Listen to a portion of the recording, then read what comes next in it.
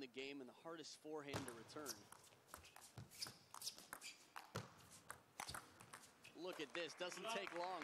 Pen holders can be so successful in doubles as Xin has shown us. In what he does, and it's just a, a sight to behold.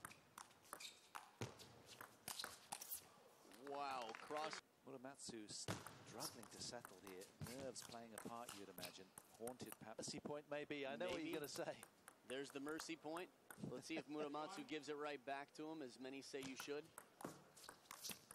Does not, plays it. We've seen a bit of both. Salvage some prize. Pride, Muramatsu here. He's getting something on the scoreboard. Service fault. Back for game two, the Cloudwalker with the serve.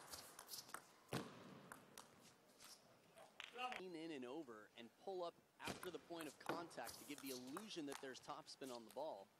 But really the stroke I've seen in the game, really the arm full extension.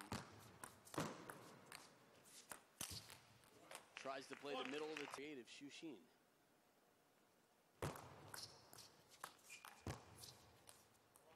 In near the table, the aggressive game, the service is what it comes down to. Just got such a in allowed and in, has he? Muramatsu. Five in a row for Xin.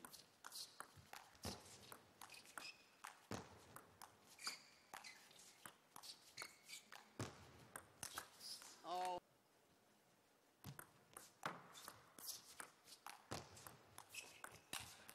Seven in a row for Xin from down four. Confidence on the read and the power of Xin finishes the points.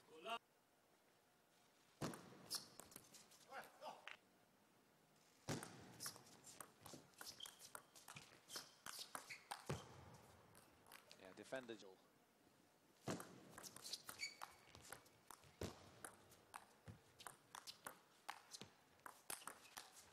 Do you mean in turn? Just has so much feeling too that he can put the ball anywhere on the table.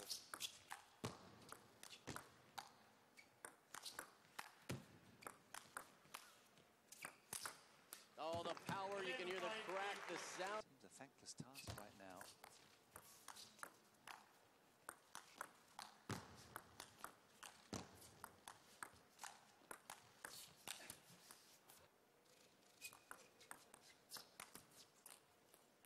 Defenders, frankly.